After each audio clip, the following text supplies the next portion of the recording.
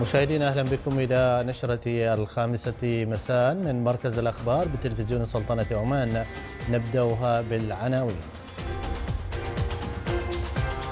حجم التبادل التجاري بين السلطنة والشركاء العشرة الرئيسيين يتجاوز 15 مليار ريال عماني خلال 2016.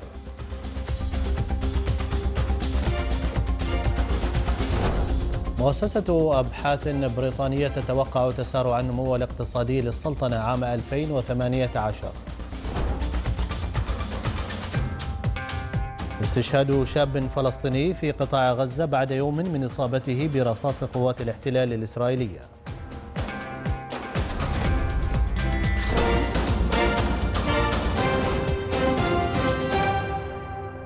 أهلا بكم. أوضحت وزارة التجارة والصناعة أن إجمالي حجم التبادل التجاري بين السلطنة والشركاء العشرة الرئيسيين خلال عام 2016 تجاوز 15 مليارا و250 مليون ريال عماني.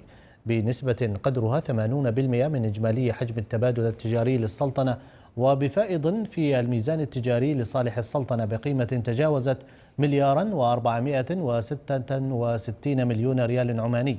غير شاملة للنفط المصفى.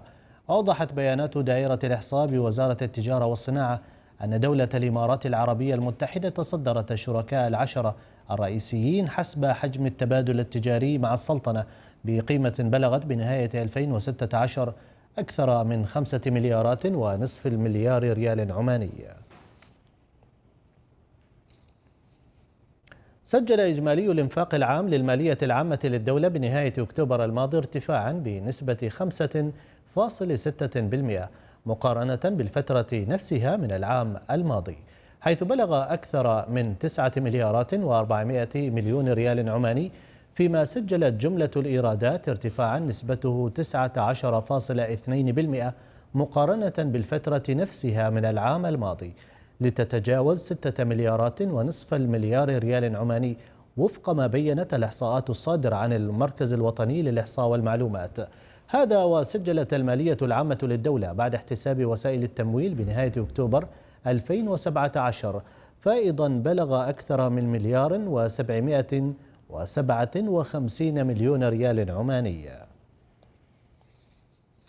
توقعت مؤسسة أبحاث بريطانية تسارع النمو الاقتصادي للسلطنة العام المقبل نتيجة الجهود الحكومية لتنويع الاقتصاد الوطني وانتعاش إنتاج موارد الطاقة. وذكر تقرير لمؤسسة بي ام اي لأبحاث السوق والتابعة لمؤسسة فيتش للتصنيف الائتماني إنه من المتوقع أن ينمو الناتج المحلي الإجمالي الحقيقي بنسبة 3.4% موضحة أن التباطؤ الاقتصادي خلال عام 2017 كان نتيجة لتقلص في إنتاج موارد الطاقة في حين أنه من المتوقع خلال العام المقبل حدوث زيادة في إنتاج النفط والغاز. كما توقع التقرير ارتفاع أسعار النفط ما يعطي دفعة للإيرادات الحكومية. وأشار تقرير المؤسسة البريطانية أن السلطنة أوجدت بيئة صديقة للاستثمار من خلال انخفاض معدلات الضرائب ومستويات الجريمة وجودة البنى الأساسية وتوفير الخدمات المختلفة بكل سهولة.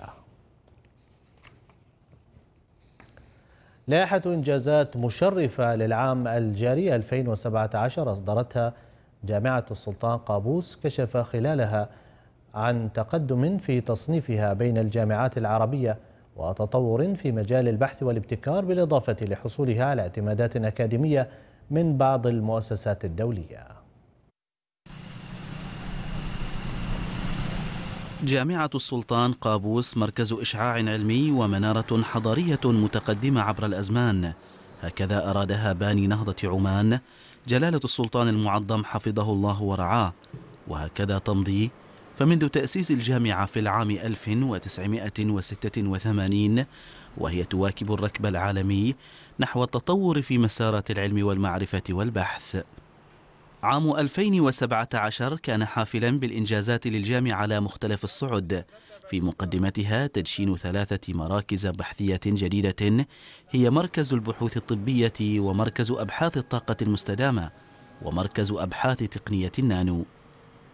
وفي مجال المنح البحثية اعتمدت جامعة السلطان قابوس أكثر من 170 منحة بحثية منها سبع منح بحثية استراتيجية ضمن الدعم السامي لجلالة السلطان المعظم حفظه الله ورعاه وتسعون منحة بحثية داخلية. واستطاعت الجامعة خلال هذا العام استيفاء العديد من الشروط والمعايير الدولية الخاصة بتصنيف الجامعات حيث أحرزت المركز العاشر على المستوى العربي حسب تصنيف مؤسسة كيو أس لتصنيف الجامعات لعام 2018 وفق تقييم شمل 150 جامعة. وفي مجال الاعتماد الأكاديمي حقق عدد من كليات الجامعة الاعتماد المؤسسي من مؤسسات أوروبية. طلبة جامعة السلطان قابوس وبما توفر لهم من بيئة علمية نالوا مراكز متقدمة على مستويات محلية وإقليمية ودولية منها جائزة عبد الله النعيم لخدمة تاريخ الجزيرة العربية وآثارها والمركز الثاني في مسابقة تحدي الريبوتات الخليجية التي أقيمت في جامعة قطر.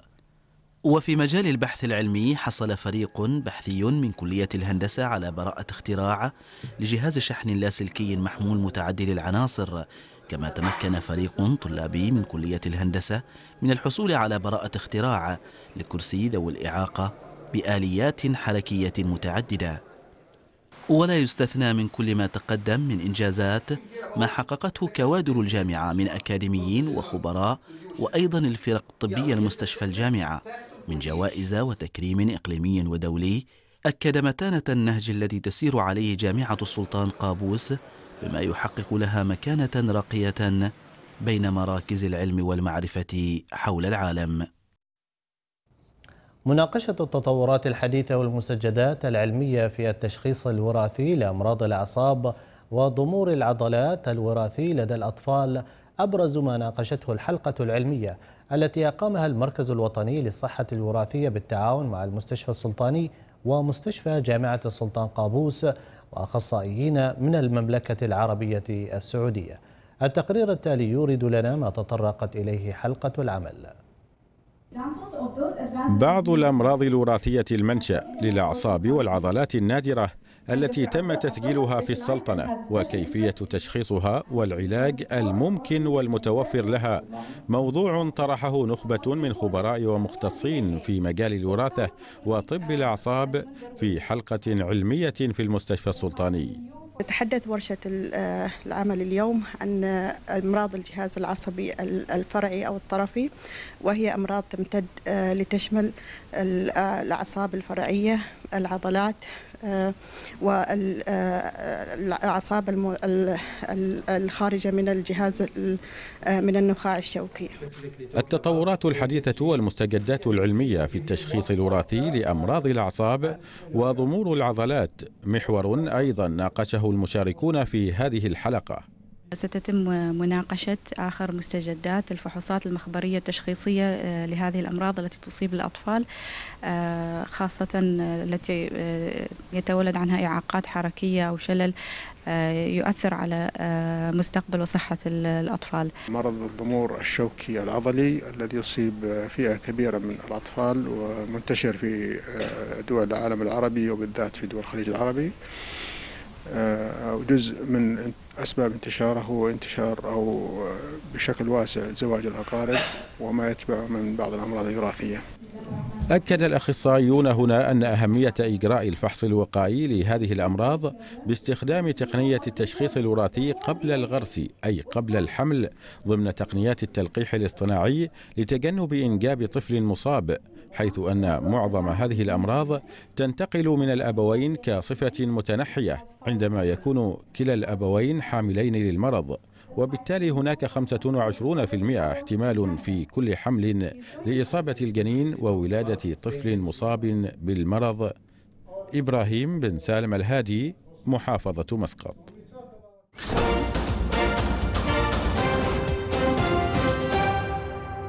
استشهد شاب فلسطيني في قطاع غزة بعد يوم من إصابته برصاص قوات الاحتلال الإسرائيلية. وأفادت مصادر فلسطينية بأن الشاب أصيب برصاص حي في بطنه شرق مخيم البريج أثناء قمع قوات الاحتلال لمسيرات فلسطينية منددة بالقرار الأمريكي حول القدس.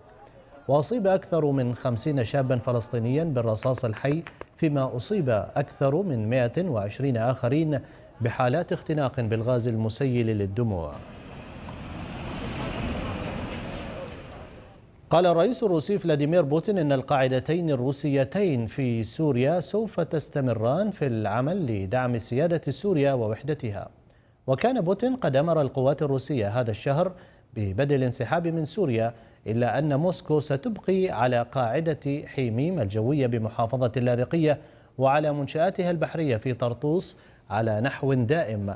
كما أكد بوتين على استمرار روسيا في تقديم كل مساعدة ممكنة لسوريا لتعزيز عملية التسوية السياسية. في أفغانستان قتل ما لا يقل عن عشرة أشخاص من مسلحي طالبان بعد اشتباكات مع قوات الأمن الأفغانية. وقالت الشرطة الأفغانية إن قوات الأمن تصدت لهجوم شنته حركة طالبان على مواقع تفتيش أمنية جنوب أفغانستان.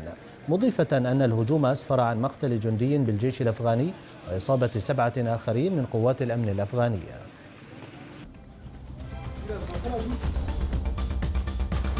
فترتنا الإخبارية مستمرة من تلفزيون سلطنة عمان وفيها أيضا.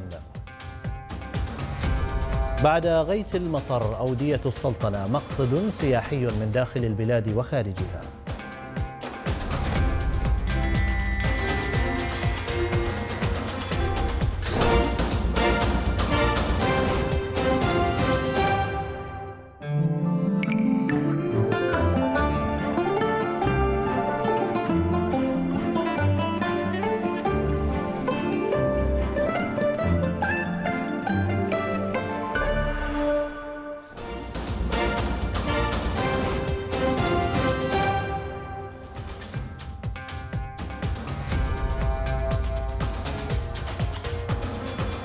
تستعد وزارة السياحة لنقل خمسة مشاريع إلى الشركة العمانية للتنمية السياحية عمران.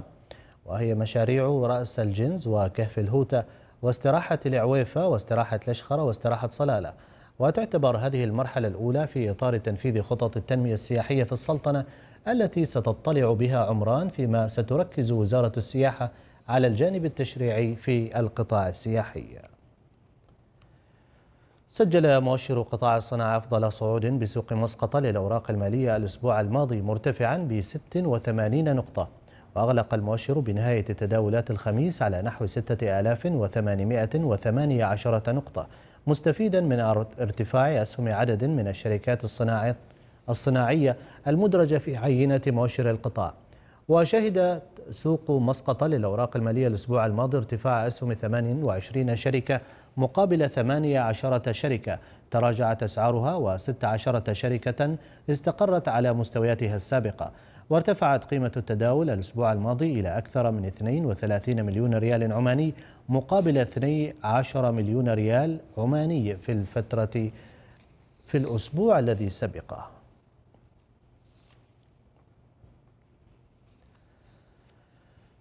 حقق القطاع المصرفي في السلطنة نموا بنسبة 6.2% عن مستواه في الفترة نفسها من العام الماضي. وتشير بيانات البنك المركزي العماني إلى ارتفاع رصيد الائتمان الممنوح من قبل القطاع المصرفي ليصل إلى 23 مليارا و300 مليون ريال عماني في نهاية أكتوبر العام الماضي العام الجاري. كما شهد الائتمان الممنوح للقطاع الخاص ارتفاعا بنسبة 5.8% وسجلت الودائع لدى القطاع المصرفي نموا بنسبة 4.8% بينما شهدت ودائع القطاع الخاص زيادة بنسبة 6.4% وذلك بنهاية أكتوبر 2017 حددت وزارة التجارة والصناعة يوم غد الأحد آخر يوم لتسلم محصول البسور للعام الجاري. من جميع محافظات السلطنة بأنواعها الثلاثة بمخازن الوزارة بالوادي الكبير وفقا للإجراءات المعمول بها في الأعوام الماضية. ودعت وزارة التجارة والصناعة المزارعين إلى ضرورة الاهتمام بجودة منتج البسور من خلال الاهتمام بنظافته وتنقيته جيدا من الشوائب ليحافظ على جودته. أكثر من 800 من النوق دخلت للمنافسة على جوائز مهرجان مزاينة الإبل السنوي بنيابة حمراء الدروع في ولاية عبري بمحافظة الظاهرة. والذي يشهد هذا العام زيادة في أعداد المشاركين من داخل السلطنة وخارجها. كما يصاحب فعاليات المهرجان معرض للمنتجات الحرفية والتقليدية. أفضل سلالات الإبل بمختلف مراحلها العمرية سجلت حضورا لافتا منذ انطلاقة اليوم الأول لمهرجان مزاينة الإبل بنيابة حمراء الدروع بولاية عبري في نسخته الرابعة. العام هذه المشاركة أكثر من الأعوام السابقة لأنها عدد الإبل اللي مشاركة كثيرة وصل عدد العزب اللي مشاركة فوق 130 عزبة لحتى اليوم هذا بعد حد منهم سجلوا في الطريق بعدهم ما وصلوا. سمحة الخليج وحفلة عمان وزهرة الخليج من فئة الزمول إلى جانب جبار انتزعت الصدارة ضمن منافسات الأشواط الأربعة الأولى ليوم الافتتاح. سمحة بونا غالية عندنا ونحن نجهزها من الحول كامل. نشتغل فيها ليل ونهار على سمحة. دائما سمحة مجهزينها على الشيء تعرف نعانيها ونهتم فيها. واقف علينا بتعب. ما ما حي ناقه تقبضها وتروح في المزاينات القرية التراثية المصاحبة احتوت على الصناعات الحرفية والمشغولات اليدوية إلى جانب العديد من الفعاليات الفنية والأهازيج الشعبية وليالي السمر التي ستقام خلال أيام المهرجان. ملتزمات الإبل وملتزمات الثانيات يعني كل يعني دكاكين مسوي عرض محلي. اللي هو ملابس يخص النساء والكحل اللي يخص النساء والأزون اللي يخص البوش. تعرفت على الأشياء التي تزين بها الجمال. وإبهرت بالملابس والصناعات البدوية التقليدية وقد التقطت العديد من الصور الفوتوغرافية في المهرجان. ملاك ومربو الإبل بدأوا باكرا لخوض منافسات موسم مزاينة هذا العام. وسط مشاركة واسعة من مختلف محافظات السلطنة ومن دول مجلس التعاون الخليجي على مدار ثمانية أيام متواصلة. ويحرص ملاك الإبل على المشاركة السنوية في مهرجانات المزاينة نظرا لما تمثله لهم من أهمية اقتصادية واجتماعية وتراثية. خليفة بن محمد الشماخي من نيابة حمراء الدروع بولاية عبري محافظة الظاهرة. تشكل الأودية في السلطنة واحدة من المواقع الطبيعية السياحية المهمة للجذب السياحي لمختلف السياح من داخل السلطنة وخارجها. التقرير التالي يرصد جانبا من النشاط السياحي الملحوظ في هذه الأودية عقب هطول الأمطار. من منا يستغني عن الماء في حياته فإنما وجهت نظرك في الحياة وجدت الماء الذي يشكل عنصرا أساسيا في حياة الكثير من المخلوقات. ولا شك بأن أحد أهم مصادر الماء في حياتنا مياه الأمطار والتي على أثرها تسيل الشعاب والأودية. وتشكل الأودية جراء هطول غيث السماء نظاما بيئيا فريدا يتميز بالتعدد والتنوع والثراء الطبيعي.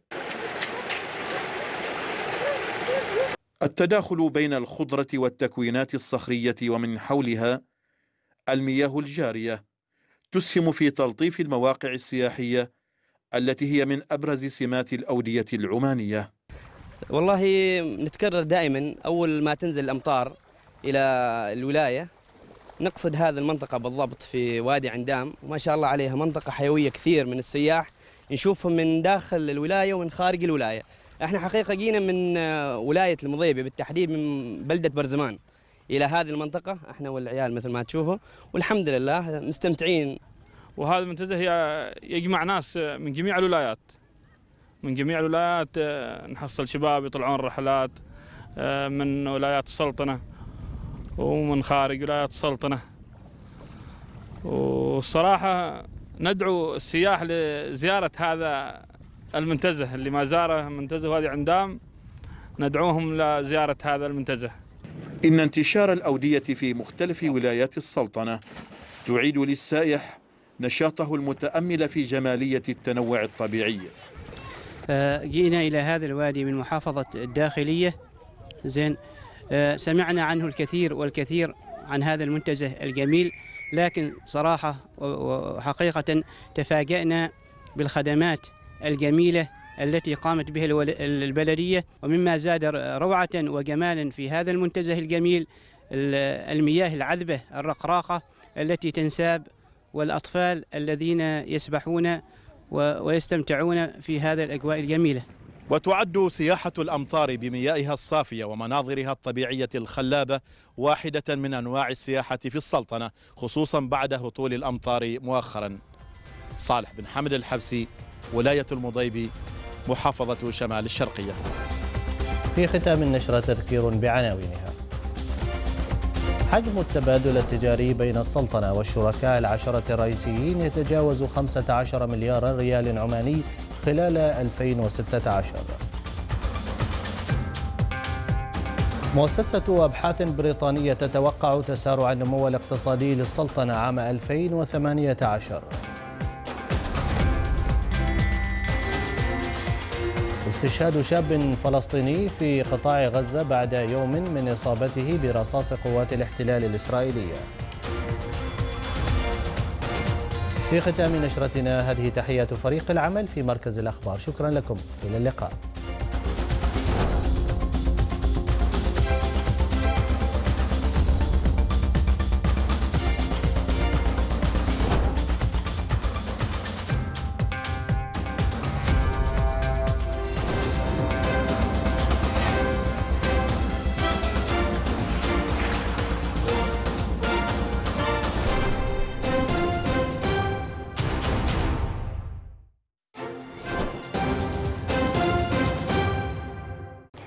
ومرحبا بكم إلى النشرة الجوية من خلال آخر الصور الجوية مشاهدينا الكرام وأجواء السلطنة واستمرار تدفق لبعض السحب المنخفضة عموما على أجزاء متفرقة من السلطنة أو تكون الضباب. في أواخر الليل والصباح. الباكر عموما على مناطق جنوب الشرقية وكذلك على أجزاء من محافظات الظاهرة وأيضا من محافظات الوسطى. تفاصيل أكثر مشاهدينا الكرام من خلال النشرة لهذه الليلة. أجواء العاصمة مسقط تبدو أجواء مستقرة وخالية من السحب ودرجات الحرارة عموما تتراوح ما بين 14 إلى 15 درجة مئوية. ما دون العشرين في محافظة جنوب الباطنة مع فرص الانتشار وتدفق لبعض السحب عموما على المناطق الساحلية وفي محافظة شمال الباطنة كذلك ودرجات الحرارة تصل إلى 13 درجة مئوية. على محافظة مسندم أجواء مستقرة خالية من السحب ودرجات الحرارة ما دون العشرين وما دون العشر أو عند العشر درجة مئوية على محافظة البريمي ضمن أجواء صافية ومستقرة. ما دون العشر على المناطق الجبلية لمحافظة الظاهرة فرص لانتشار وتدفق بعض السحب المنخفضة تكون حاضرة على المناطق الصحراوية ودرجات الحرارة عموما تكون ما دون العشرين. تصل درجات الحرارة إلى ثلاث درجة مئوية على المناطق الجبلية لمحافظة الداخلية. أما المناطق المجاورة للجبال فدرجات الحرارة تصل إلى 11 درجة مئوية ضمن أجواء صافية ومستقرة. في شمال الشرقية أيضا أجواء مستقرة خالية من السحب ودرجات الحرارة عموما ما دون العشرين. على جنوب الشرقية مشاهدينا الكرام بعض السحب المنخفضة عموما تكون حاضرة على سواحل السلطنة مطلة على بحر العرب ودرجات الحرارة ما دون العشرين وفي محافظات الوسطى أيضا. بعض السحب المنخفضة عموما تكون حاضرة. درجات الحرارة تتراوح ما بين 9 درجة مئوية إلى 17 درجة مئوية. في محافظة ظفار أيضا بعض السحب المنخفضة تكون حاضرة ودرجات الحرارة تتراوح ما بين العشر درجة مئوية إلى العشرين درجة مئوية. بحر أو سواحل بحر العرب وسواحل مطلع على بحر العرب. تشهد رياح عموما مشاهدينا الكرام شمالية شرقية ومعتدلة السرعه بحدود 15 عقدة. بالتالي البحر متوسط الموج أقصى ارتفاعا له مترين. سواحل محافظة مسندم تشهد رياح متغيرة الاتجاه خفيفة السرعه بحدود 5 عقد وبالتالي البحر هادئ الموج أقصى ارتفاعا له متر وربع المتر. وأخيرا إلى سواحل مطلع على بحر عمان وتشهد رياح عموما جنوبية غربية خفيفة السرعه بحدود 10 عقد وبالتالي البحر هادئ الموج واقصى ارتفاعا له متر وربع المتر. شكرا شكرا لكم لحسن المتابعة وإلى اللقاء.